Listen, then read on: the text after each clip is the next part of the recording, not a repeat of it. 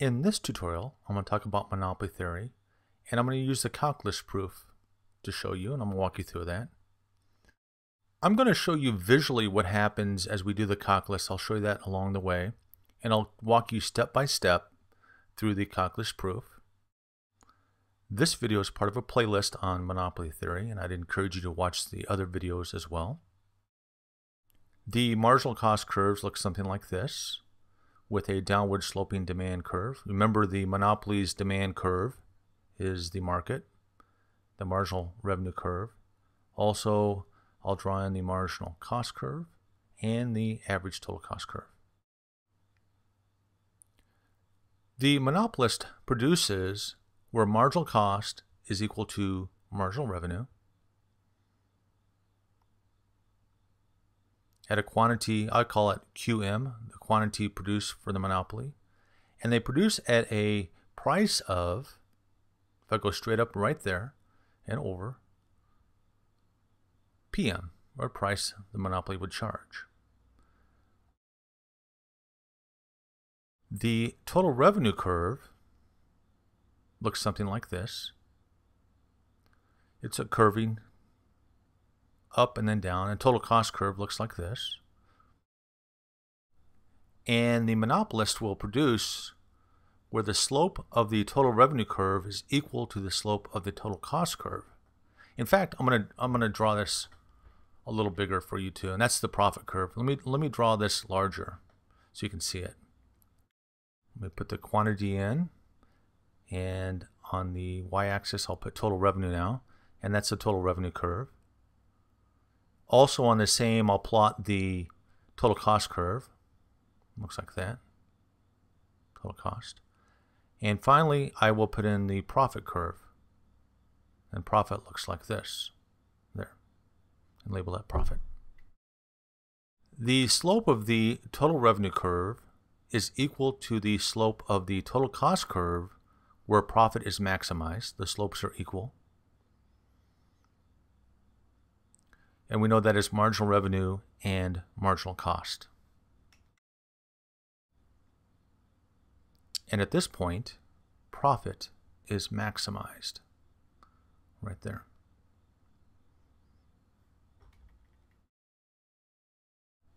Now I'll focus just on the profit curve as I step through. And I'm getting ready to do the calculus proof, so just hang in there with me. I want to set it up for you. So here's the profit curve and, it ma- and the monopolist maximizes profit at that point where slope is equal to zero. Right there. And the change in profit divided by the change in quantity. So what happens to profit as quantity changes or increases in this case? We have that delta is a change in, by the way. So we have D means delta. So d pi, so I'm using pi as the symbol for profit. That's common to do in economics. Divided by the change in quantity or dq, d pi dq. And this means what happens to profit as quantity changes. And that's what I'm going to prove using calculus. So how do these things change? Obviously, profit's not constant as quantity changes and the rate of change can be measured by a the slope of the profit curve. And that's where it's maximized when slope is equal to zero. So when I take the first derivative which I'm going to do I'm going to take the first derivative set it equal to zero and solve it that's where profit is maximized. So here we go. Ready? Let's go. It turns out that profit is equal to total revenue minus total cost. Profit is equal to price times quantity, which is revenue, minus total cost, which is a function of quantity. The total cost curve looks something like this. What happens to total cost as quantity increases? How does it vary? Also, it's not constant either. So I'm going to say total cost is a function of quantity. So profit is equal to price times quantity, and I'll just use P and Q now. So profit is equal to price times quantity. P times Q minus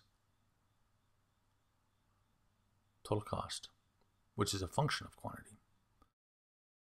So profit is equal to price times quantity minus, and I'm going to show you that total cost is a function of two things. Total cost is total variable cost and total fixed cost. So total cost is equal to total variable cost plus total fixed cost. And you'll see in a moment why I'm doing this. So just hang in there. So now I have, put the labels back. I just have, I'll get rid of the total cost curve. The change in profit due to a change in quantity is equal to price times quantity divided by a change in quantity minus a change in total variable cost divided by a change in quantity minus a change in total fixed cost and a change in quantity. There's a reason I'm making that gray, by the way. So let me plot this out. I'm going to plot total fixed cost. And notice it's a horizontal line. The slope is zero. And it doesn't change with quantity. Again, slope is equal to zero. So I can just say that does not change. So I can ignore that and get rid of that part of the equation. Now I'm going to write this in proper calculus notation. And I'm using D's instead of the change in. And I'll use that calculus notation all the way through.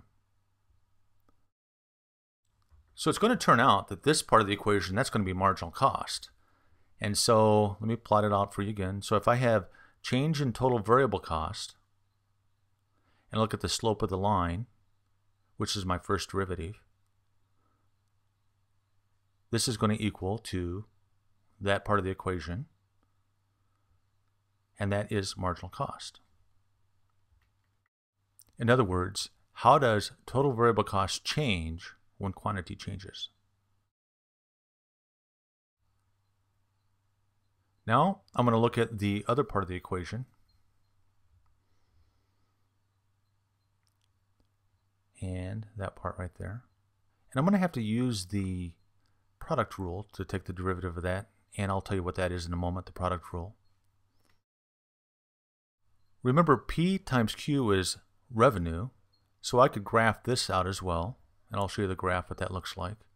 So I have quantity again, and total revenue on the y-axis.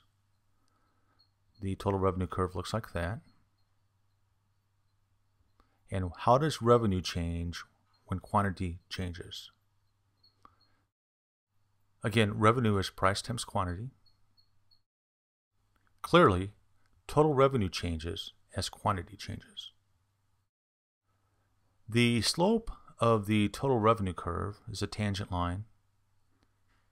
And it turns out the slope is the first derivative of that equation and it's marginal revenue. Now the product rule is defined as, I guess I don't need this after all. Let me get rid of this stuff on the left again. There. So the product rule is if I want to take a derivative of two items like p times q or two functions, the way I do that is I take the first function, in this case it's p, times the derivative of q, plus the derivative of p times q. So I have p, which is price, times the change in quantity divided by the change in quantity. And I'll talk about that in a second plus the change in price due to a change in quantity, which is the first derivative of the P, times Q. So let me write this over again. And this is equal to P. I'll just pull the P down. The change in Q due to a change in Q is just 1, so I won't write that 1 out. So it's P plus. and this is typically written with a Q first, and then the change in price to do a change in quantity. And that is the first derivative of that part of the equation. Now let me pull that down and then pull this other part down. And this is, how does profit change when quantity changes? So let me move that up and start over. So I'm almost done, so hang in there. This part of the equation is marginal revenue minus this part of the equation, which is marginal cost. And if you recall, profit is maximized when the slope is equal to zero. So I'm going to set this equation equal to zero. I'm going to do a little algebra. I add marginal cost to both sides of the equation. So I have marginal revenue is equal to marginal cost. What about that? And that's where profit is maximized.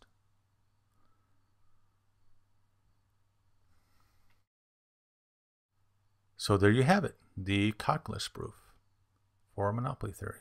Hope you grasp it. Again, I drew some graphs, did the calculus. I would really encourage you to watch all the videos in the playlist on monopoly theory. As always, share the knowledge, share the love. Comments and suggestions below. Also, make sure you like the video so others can find it easier. And subscribe because I'm always posting new stuff to help you pass your econ classes.